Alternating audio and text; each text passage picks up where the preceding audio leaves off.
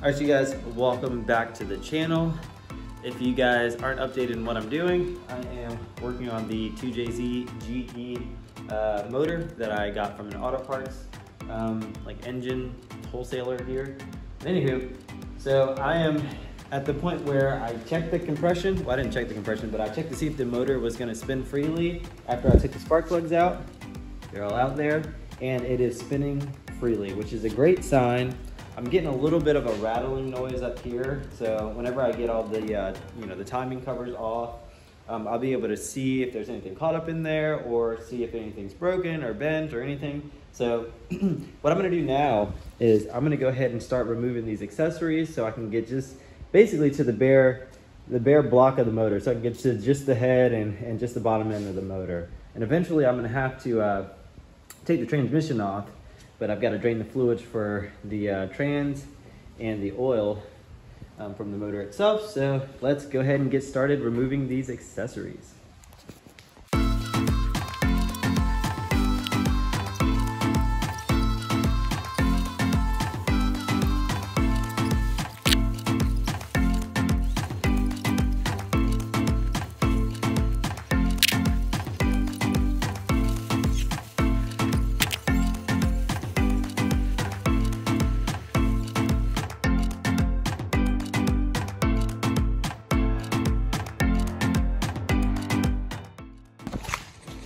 All right, you guys. So I got a couple of the accessories off.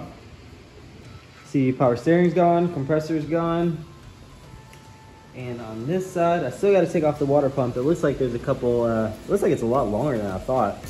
But I guess we got to take off those back there. So I got to get this lower timing cover off.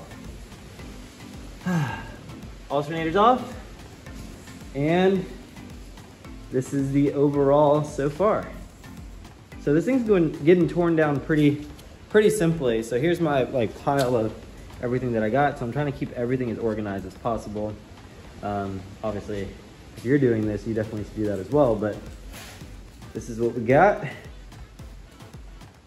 So it looks like I'm gonna have to take that, take the uh, crank pulley off in order for me to get this timing cover off. I didn't realize that it goes all the way down to the bottom there, which is totally cool. So I will get to cranking at that. All right, keep it moving. All right, you guys, so I spent like 20 minutes trying to get this uh, crank pulley off without the tool. Looks like I'm gonna go to AutoZone and rent the tool. But in the meantime, I think I'm gonna go ahead and uh, drop the oil out of the car. And I got a clean, I got a clean uh, bucket here. So I'm gonna catch the oil there and I'm gonna see what condition it's in. I'm curious myself, so. Let me grab a wrench, unscrew that, and get all the oil out.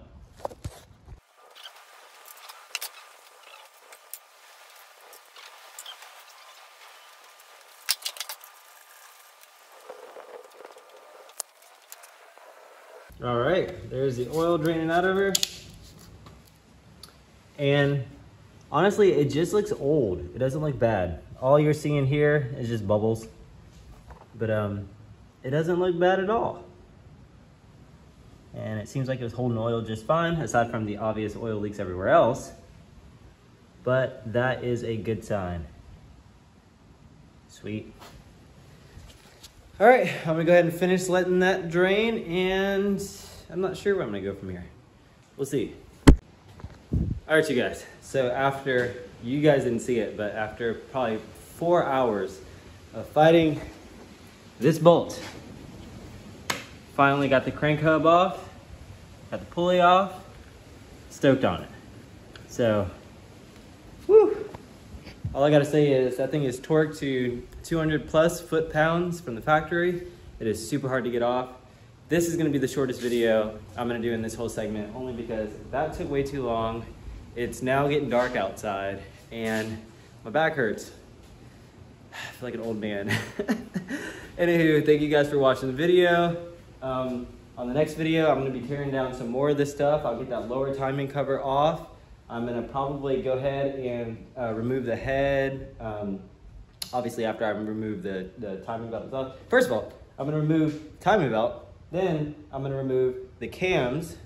Then I'm gonna remove the head. See you guys on the next video. Peace.